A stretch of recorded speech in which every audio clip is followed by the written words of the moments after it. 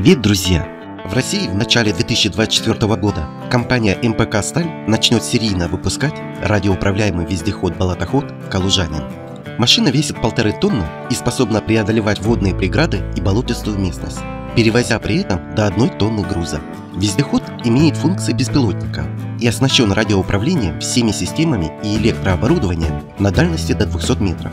Управлять им можно на дальности до 2 километров.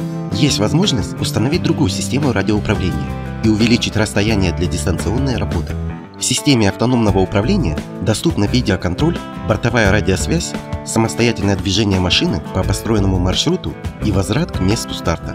В базовой комплектации машина оснащается белорусским дизельным двигателем мощностью 35 лошадиных сил, но можно установить мотор мощностью 58 лошадиных сил.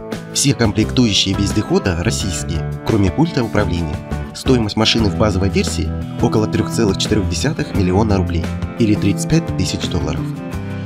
На этом на сегодня все. Друзья, спасибо за просмотр и помощь каналу. Мы осветим все.